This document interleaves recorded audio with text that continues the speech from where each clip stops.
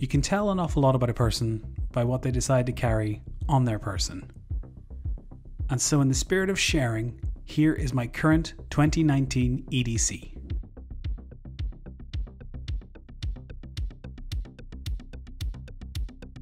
Fossil Hybrid Smartwatch. I bought this watch in late 2017 as a sort of celebration for getting my new job.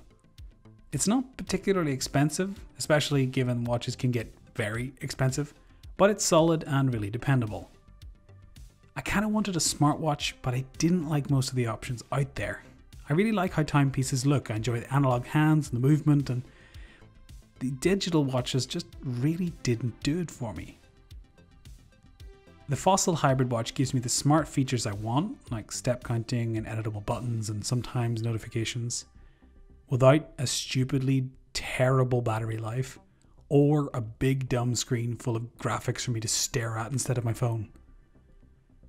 It's a watch. I have a few watches. This is probably the most featured and expensive of them, but there are others that I enjoy wearing, but they don't really do as much. So this tends to be the workhorse and gets the most use day to day.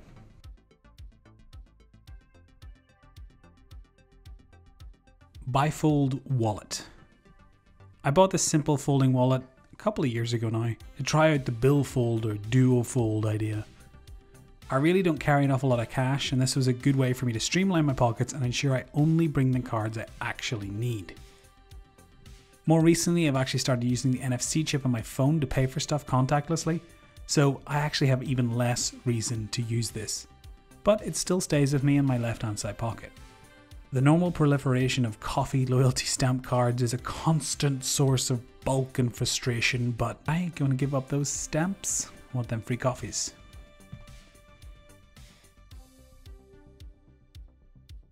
Samsung S8. I got an S8 early last year for work, and it's a really, really good phone. It's fast, it's capable, and the camera is excellent. I liked it so much that when I dumped my ancient Samsung S5 a couple of weeks ago, I bought a second S8. This time in orchid grey instead of the black, and I love it. It's brilliant. I don't need the newest phone, I don't need the most featured phone, I just need something solid and dependable. Paired with a slimline case like this one, I'm able to keep a track of my daily digital life without much hassle, which is key. I use a bunch of apps for a bunch of different things. My digital train ticket is on there, my bank account for personal expenses, my Audible and podcasts, and all of that stuff comes from my phone. I also have databases for movies and books and projects, and my phone is very, very important for my daily life.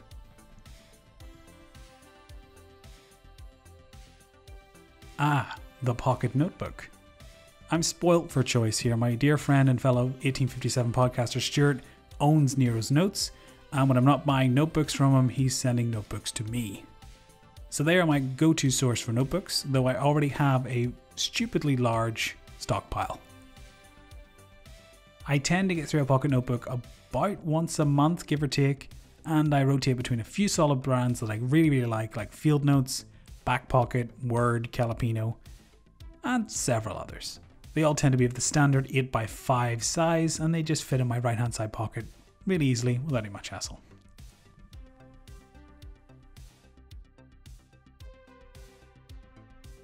Ah, the pencil. As you might imagine, this is not a short nor a simple answer. Shocker, I use pencils every day. I carry one with me. I'm sure you're all very, very surprised. Sometimes I switch pencils two to three times in a single day. Sometimes I bring one pencil. Sometimes I forget a pencil and curse myself all day long.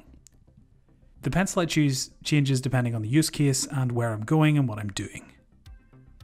I have a set of options that I typically use when I'm at work, and another set for when I'm not. At work, I choose between my Timber Twist with a Blackwing 602 stub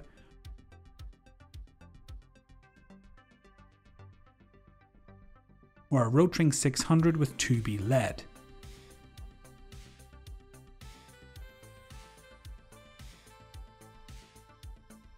These live in the top left hand pocket of my suit jacket and are a frequent guest at meetings or events, and really any excuse to pull them out and show them to people, I will pull them out and show them to people.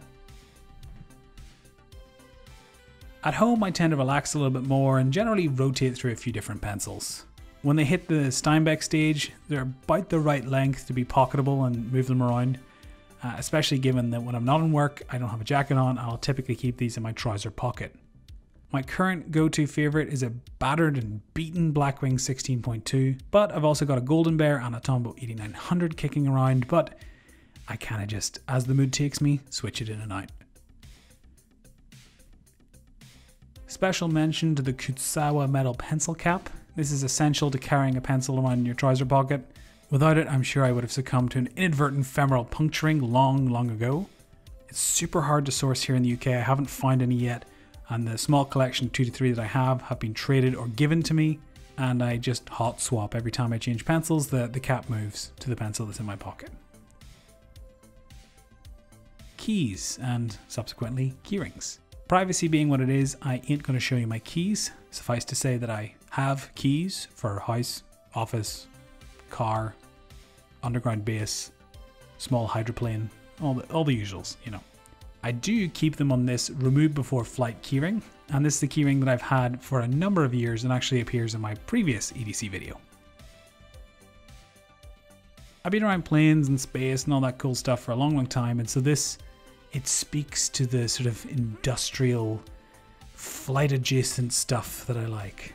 I actually find a keyring like this super useful, especially paired with a carabiner. It keeps my keys together and readily accessible, and the long tail can be positioned in pockets or bags for easy grabbing.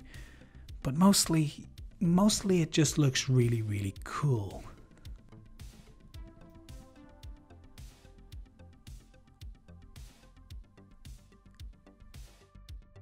Headphones. A recent and undoubtedly essential part of my EDC are my Sennheiser PXC 550 noise cancelling headphones. These headphones are the sole reason that I'm still seeing during my train commute every single day, twice a day, for about half an hour each time. It spirits away all the clatter and hum of the train and the noise of people, and generally lets me forget that other people exist for the 30 minutes that I'm on public transport, and I can just drift away into a podcast or audiobook. Speaking of podcasts, if you didn't already know, I've got a podcast. It's called 1857, and we talk about analog things in a digital world.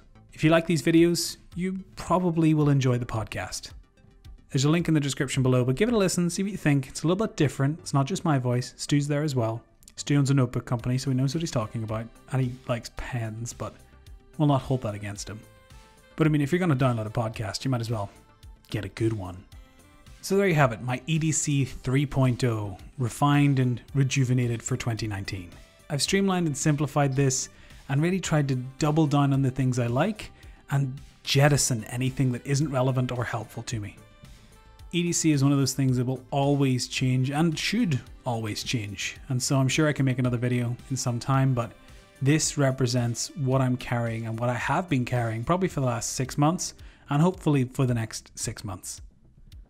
So there you go. I hope you've learned a little bit about who I am as a person by what I carry on my person.